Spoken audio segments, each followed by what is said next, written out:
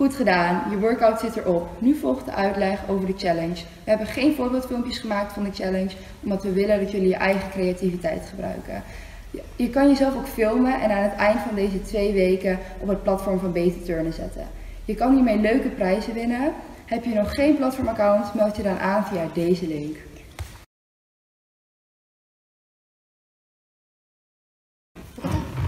Challenge 8! Bij de challenge van vandaag moet je zo ver mogelijk in spagaat of in overspagaat zitten. En ook hier geldt weer, gebruik je creativiteit.